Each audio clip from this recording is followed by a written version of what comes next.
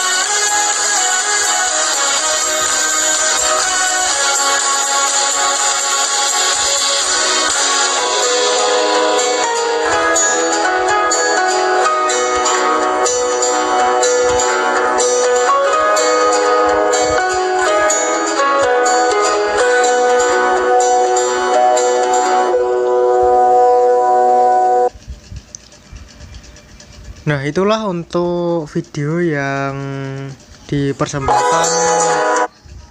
Nah itulah video yang dipersembahkan oleh Malio ya Atau preview dari Malio. Kita akan membahasnya satu persatu ya. Nah di sini ada semacam perumahan ya teman-teman. Di sini ada perumahan Puri Asri. Entah eh, lokasinya ini di mana tetapi kemungkinan di Jawa Timur ya kemungkinan. Karena untuk bannernya ini terdapat tulisan Jatim dan kita lanjutkan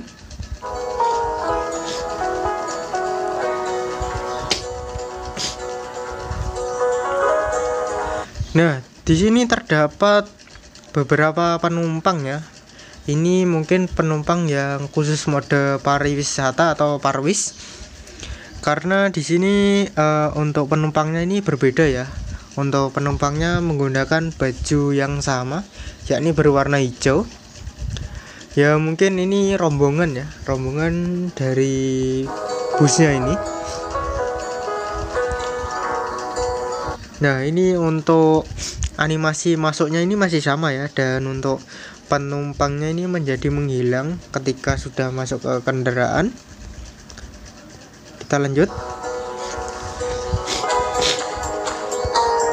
Nah, di sini ada alun-alun Sragen ya yang ada di Jawa Tengah.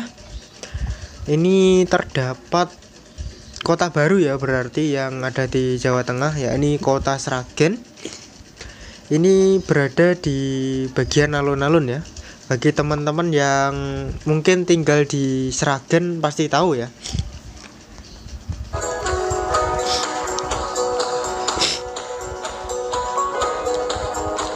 Nah, kalau jalan ini sepertinya lanjutan yang tadi ya, seputar uh, bangunan perumahan Puri Asri mungkin, karena terlihat dari jalannya ini kurang lebih sama seperti yang tadi itu. Kita lanjut. Nah, di sini uh, kerennya seperti yang saya bilang dari video review yang saya sampaikan tadi terdapat uh, semacam pantai baru ya yang ada di Banyuwangi. Ini adalah pantai Bum ya. Dan ini bangunannya atau mapsnya ini terletak di sekitaran pantai di Banyuwangi ya, Jawa Timur. Dan kita lanjut.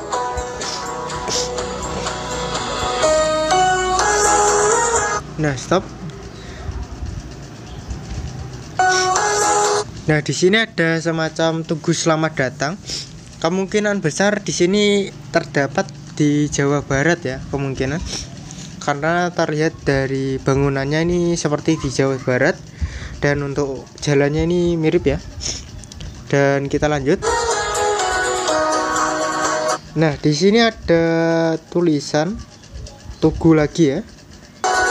Di kota Cirebon Berarti untuk di kota Cirebon itu sekarang itu sudah dirombak ya sekarang. Uh, tidak seperti kota yang sebelumnya. Ini sekarang sudah keren banget, sudah ada Tugu Cirebonnya di sini. Dan juga untuk bangunannya ini masih sama ya seperti bangunan-bangunan yang ada di Busit sebelumnya itu. Kita lanjut. Nah, di sini juga ada kota Boyolali yang ada di Jawa Tengah ya. Terlihat dari tugunya ini. Nah di sini juga ada Madiun ternyata. Ternyata ada Madiun ya. Ini perbatasan antara kota Madiun sama Kabupaten Madiun ya. Berarti kalau ada kabupaten nanti ada semacam caruban ya berarti. Nah ini nanti yang uh, saya bingungkan antara lewat uh, kota atau lewat ring roadnya Madiun ya nanti ya. Kalau ada ring roadnya Madiun berarti nanti ada semacam rel kereta api yang berada di bawahnya jembatan ring road ya. Bagi orang Madiun pasti paham ya. Kita lanjut. Nah, di sini ada Pacitan, berarti kalau ada Pacitan ada Ponorogo ya mungkin. Karena jika mau ke Pacitan itu e, lewatnya Ponorogo itu bisa. Dan kemungkinan besar juga ada pantai ya karena di Pacitan itu ada semacam e, pantai yang indah dan yang terkenal itu salah satunya pantai Klayar dan kita lanjut lagi Nah, di sini ada kota Pekalongan ya yang berada di Jawa Tengah. Maaf, uh, maksud saya Kabupaten Pekalongan ya, bukan kota. Kita lanjut. Nah, di sini juga ada kota Tegal. Ya, kota Tegal di sini, kota Tegal, kota Bahari ya. Di sini. Mungkin ada teman-teman yang dari kota Tegal, silakan absen di kolom komentar ya. Nah, di sini ada semacam tugu ya ini. Gapura Mas ya. Gapura uh, Indung Rahayu ya. Ini berar, berada di Jawa Barat ya.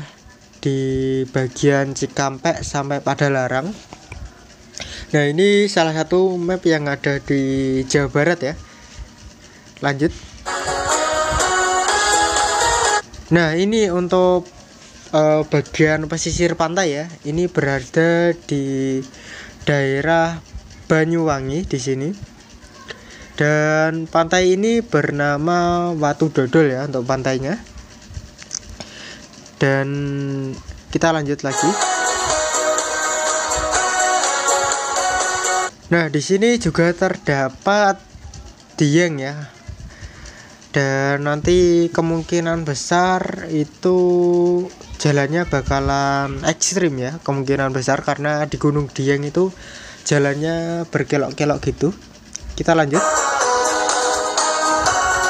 Nah di sini juga ada semacam anu ya kota Bogor ya.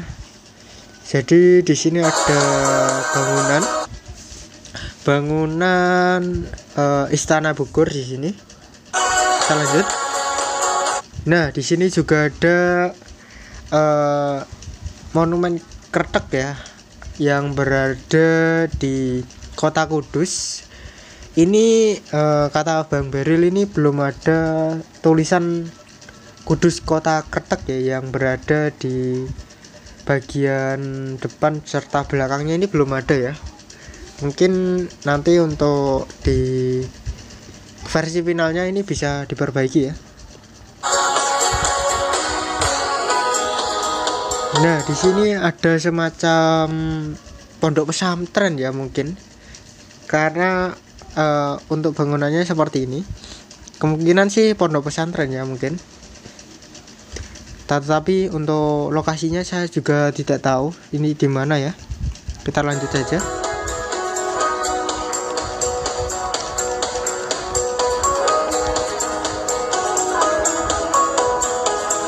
Nah, di sini juga ada semacam SD ya. Jika ada study tour berarti tidak lepas dari sekolahan ya mungkin. Dan di sini kita nanti bisa study tour di game busit ya karena sudah ada semacam landmark yang berupa tempat wisata ya, tidak hanya di terminal saja. Yuk kita lanjut.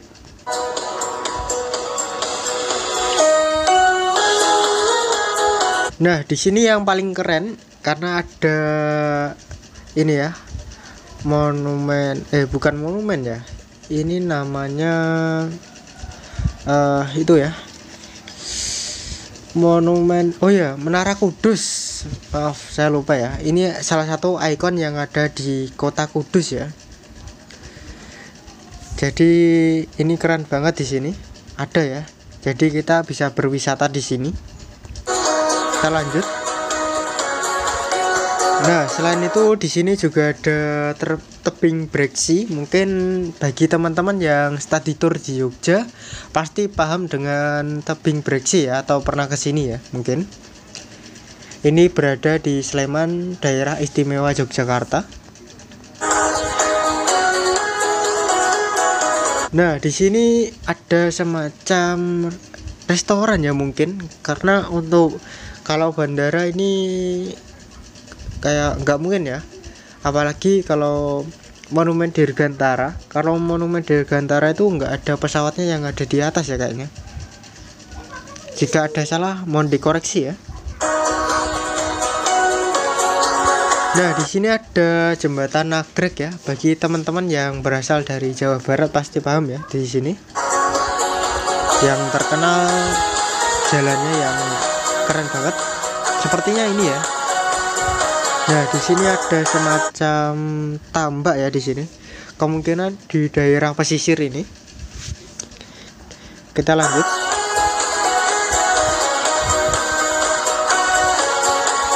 Jalannya keren banget ya teman-teman.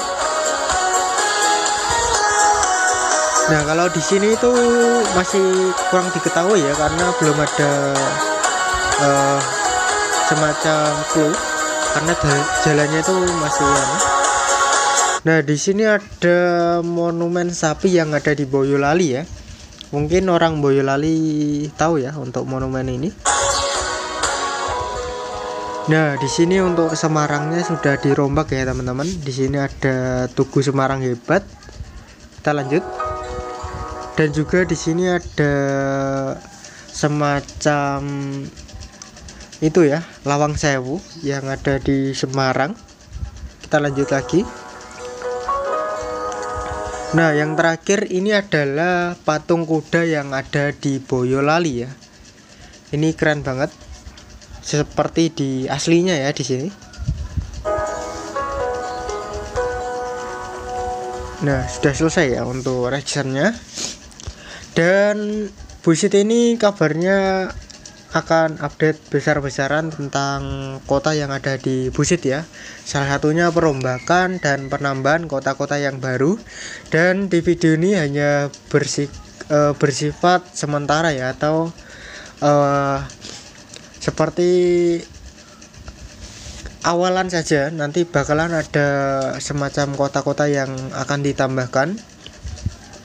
Dan untuk masalah updatean yang terbaru ini salah satunya adalah kota dan adanya fitur pariwisata ya.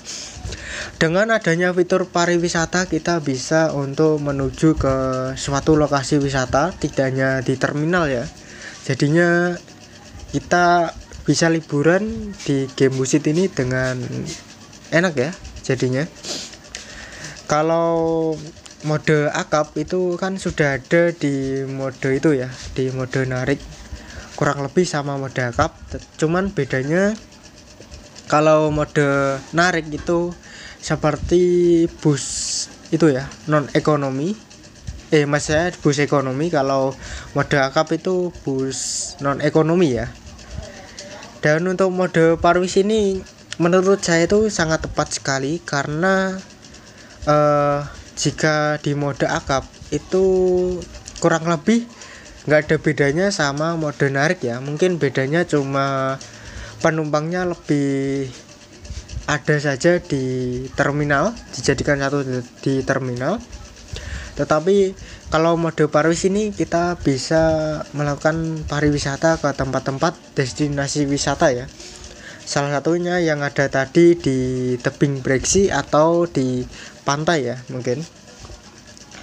Dan untuk estimasi update-nya ini Mario bi belum bisa menentukan ya atau tidak bisa menentukan kapan nanti Busit akan diupdate. Dan kita doakan saja semoga nanti cepat update ya. Dan semoga Busit ini tambah maju dan go internasional dan bisa bersaing dengan game-game luaran sana ya dan mungkin cukup sekian video yang dapat saya sampaikan dalam kesempatan kali ini. Bila ada kekurangan atau salah kata, saya mohon maaf. Saya Febri Septian Channel, salam busit mania.